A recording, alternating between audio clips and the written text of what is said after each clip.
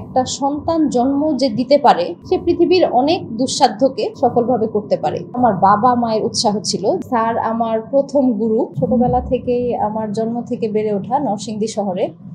আমার বাবা বাবা একজন ব্যবসায়ী ছিলেন, মোহাম্মদ ইদ্রিস মোল্লা। তো বাবা শিক্ষিত মানুষ ছিলেন। উনি পাকিস্তান পিরিয়ডে এম কম পাশ করা লোক ছিলেন। তো বাবা আসলে আমাদের যেটা হয়েছে, আমরা তিন বোন, দুই ভাই। তো ছোটবেলা থেকেই আমরা মানে স্বাধীনতা পেয়েছি এবং শিক্ষাগত দিক থেকে সাংস্কৃতিক দিক থেকে বাবার বাবা এবং মামার মা একজন স্কুল শিক্ষিকা ছিলেন। তো সেক্ষেত্রে বাবা, মা এবং পরিবার পুরোটা মিলে আমরা ছোটবেলা থেকে আসলে অনেক স্বাধীনতা বলেন এবং উৎসাহের মধ্য দিয়ে বড় হয়েছি। তো আমার বাবা আমাদেরকে, বাবা, মা দুজনই আমাদেরকে কখনো বার্ডেন করেননি যে তোমাকে এটাই হতে হবে বা তুমি বড় হয়ে এই প্রফেশনে যাবে। এই ধরনের বাধ্যবাধকতাটা আমাদের মধ্যে কখনোই আসেনি। কিন্তু আমার বাবা যেটা করেছেন আমার বাবা অনেক আধুনিক মনের মানুষ ছিলেন। তো আমার বাবা ছোটবেলা থেকেই স্বপ্ন দেখিয়েছেন যে তোমাকে ভালো কিছু করতে হবে। জীবনে বড় কিছু হবে এবং মানুষের কল্যাণে যাতে কাজ করতে পারো, এমন কোনো একটা প্রফেশনে তুমি যাবে। তো ছোটবেলা থেকে আসলে সব কিছু করার সুযোগ পেয়েছি। পড়াশোনার পাশাপাশি খেলাধুলা, সাংস্কৃতিক অঙ্গনে অংশগ্রহণ, সবকিছু করার সুযোগ পেয়েছি। খুব বেশি বাধা, নিষেধাজ্ঞা এগুলো আমাদের ছিল না। সুন্দরভাবে একটা শৈশব নিয়ে বড় হওয়ার সুযোগ পেয়েছি, সেজন্য বাবা মাকে অসংখ্য ধন্যবাদ। আর প্রফেশন পছন্দ করার ক্ষেত্রেও যথেষ্ট স্বাধীনতা পেয়েছি। আমার পড়াশোনা নরসিংদীতেই, তারপরে যখন নরসিংদীর গণ্ডি পেরিয়ে ঢাকা বিশ্ববিদ্যালয়ে ভর্তি হই দুই হাজার দশ সালে ইংরেজি বিভাগের ছাত্রী ছিলাম আমি। আমার বাবা মায়ের উৎসাহ ছিল যে নারী হিসেবে তুমি আর্থিক এবং সামাজিকভাবে তোমাকে প্রতিষ্ঠিত হতে হবে। যেহেতু আমাদের সমাজটা নারীদের ক্ষেত্রে কিছুটা প্রতিকূলতা, প্রতিবন্ধকতা আগে থেকেই ছিল, এখনও আছে। তো সেই ক্ষেত্রে আমি সবসময় চেয়েছিলাম যে একটু চ্যালেঞ্জিং কোনো প্রফেশনে যাব। কিন্তু নট নেসেসারিলি দ্যাট আমি পুলিশকে বেছে নিয়েছিলাম, এটা কিন্তু আমার শুরুর দিকে ছিল না। কারণ আমাদের, আমার বেড়ে ওঠা, আমি তো বললামই মফস্বলে। তারপর আমি যখন ঢাকা বিশ্ববিদ্যালয়ে পড়ি, সেখানে আমার একটা ছোট্ট গল্প আছে, সেই গল্পটা আজকে শেয়ার করব। আমি যখন ঢাকা বিশ্ববিদ্যালয়ে অনার্সে পড়ি তখন নরসিংদী জেলার এসপি হিসেবে যান বর্তমানে আমাদের সম্মানিত ডিআইজি আমেনা বেগম স্যার। উনি বর্তমানে এসবিতে কর্মরত আছেন। তো স্যার একটা সময় নরসিংদীর এসপি ছিলেন। তখন আমি ঢাকা বিশ্ববিদ্যালয়ের স্টুডেন্ট ছিলাম। তো বেশ কয়েকবার স্যারের সান্নিধ্য পেয়েছিলাম। স্যার যখন এসপি হিসেবে জয়েন করেন একবার একটা অনুষ্ঠানে স্যারের সাথে দেখা হয়। তো দেখা হওয়ার পরে স্যারের সাথে কথা বলি। স্যার এবং স্যারকে জানাই যে তখন আমি অনার্স ফাইনাল ইয়ার স্টুডেন্ট ছিলাম। যেহেতু বিসিএস দেওয়ার খুব ইচ্ছা ছিল যে, এবং বিসিএস একজন কর্মকর্তা হয়ে দেশ সেবার একটা ব্রত ছিল, সেই উৎসাহ উদ্দীপনা থেকেই স্যারকে শেয়ার করেছিলাম যে, স্যার বিসিএস দিয়ে একজন অফিসার হতে চাই। তো স্যার অনেক উৎসাহ দিয়েছিলেন যে, পুলিশ প্রফেশনে কীভাবে স্যার মানুষের সেবা করতে পারেন? সেই অভিজ্ঞতাগুলো কিছুটা শেয়ার করেছিলেন। আর আরেকটা সবচেয়ে বড় উৎসাহের জায়গা ছিল, স্যার যখন যেই সময়টাতে নরসিংদীর এসপি ছিলেন, স্যার আসলে মানে আইন শৃঙ্খলা বাহিনী সহ মানে পুরো জেলার যে পরিস্থিতিটাই পরিবর্তন করে দিয়েছিলেন। এতে করে যেটা হয় যে, সাধারণ জনগণ কিন্তু মানুষের রিয়াল পিকচারটাকেই সাধারণ জনগণের বক্তব্যের মাঝখানে কিন্তু ফুটে ওঠে। তো স্যার যেই সময়টাতে নরসিংদীর এসপি ছিলেন নরসিংদীর সাধারণ মানুষ স্যার, স্যারকে মানে মনে প্রাণে খুব পছন্দ করতেন। তো এই বিষয়টা আমাকে খুব সারা জাগায় আমার মধ্যে এবং আমাকে খুব অনুপ্রাণিত করে। স্টুডেন্ট লাইফের স্ট্রাগলের কথা যদি বলি, ওই স্ট্রাগলটা ছিল একেবারে ভিন্ন রকম একটা স্ট্রাগল এবং যদি প্রফেশনাল লাইফে জয়েন করার পর সারদায় প্রশিক্ষণকালীন যে স্ট্রাগলের কথা বলেছেন, ওই স্ট্রাগলটা আবার সম্পূর্ণরূপে ভিন্ন ছিল। তো সেই ক্ষেত্রে প্রথমে স্টুডেন্ট লাইফের স্ট্রাগল দিয়ে শুরু করি। স্টুডেন্ট লাইফে আসলে আমি প্রথমেই বলেছি যে আমি নরসিংদীতে আমার বেড়ে ওঠা।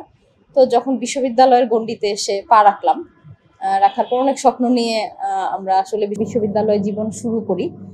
তো এখানে যেটা হয়েছে বাড়ি থেকে রিলেটিভদেরকে সবাইকে ছেড়ে ঢাকায় এসে থাকা এটা একটা নিউ চ্যালেঞ্জ নিউ লাইফ ছিল আমাদের জন্য, আমার নিজের জন্য ছিল।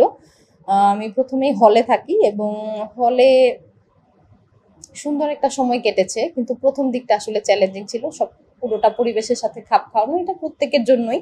এটা একটা কমন চ্যালেঞ্জ ছিল এবং এটা খুব দ্রুত সময়ের মধ্যেই আমরা কোপ আপ করতে পারি এবং ওইভাবেই সময়টা কেটে যায়। এবং আরেকটা বড় চ্যালেঞ্জ ছিল, যেহেতু বাংলাদেশের পার্সপেক্টিভে জব লাইফে মানে প্রফেশনের ক্ষেত্রে দেখা গিয়েছে যে আমাদের যেই জব সিকারদের থেকে জব অপরচুনিটিটা দেখা যায় অনেক ক্ষেত্রেই কম। সেই ক্ষেত্রে কোয়ালিটি প্রফেশনে ঢুকতে গেলে অনেক স্ট্রাগলের একটা বিষয় আছে। নিজের যোগ্যতাকে প্রমাণ করার একটা বিষয় আছে। তো সব মিলিয়ে ওই সময়টাতে অনেক স্ট্রাগল করেছি, চেষ্টা করেছি নিজের স্বপ্নটাকে টাচ করার। তো ওইভাবে এগিয়েছি এবং ফাইনালি যখন সাকসেসফুল হতে পেরেছি, তখন ওই স্ট্রাগলটা আসলে আর মনে থাকেনি। ওই স্ট্রাগলটা মনে হয়েছে যেটা অর্জনের সাথে সাথে ওই স্ট্রাগলটাও মানে সুন্দর সুখময় স্মৃতিতে পরিণত হয়েছে। প্রফেশনাল লাইফ শুরু করার পর একজন লেডি অফিসার হিসেবে যখন ট্রেনিংটা করেছি, তখন কি ডিফিকাল্টিস আমি ফেস করেছি। সেক্ষেত্রে আমি বলব যে সারদায় যখন আমি ট্রেনিংটা শুরু করেছি তখন সারদায় গিয়ে প্রথমেই যে ভালো লাগার বিষয়টা ছিল, সেটা হচ্ছে যে নারী এবং পুরুষের মধ্যে ওইখানে প্রথমেই আমাদেরকে যেই ওরিয়েন্টেশনটা দেওয়া হয়, সেটা নারী এবং পুরুষ হিসেবে যে নিজেকে পৃথক করে ভাবা, এই জিনিসটা আমাদেরকে ভুলিয়ে দেওয়া হয়।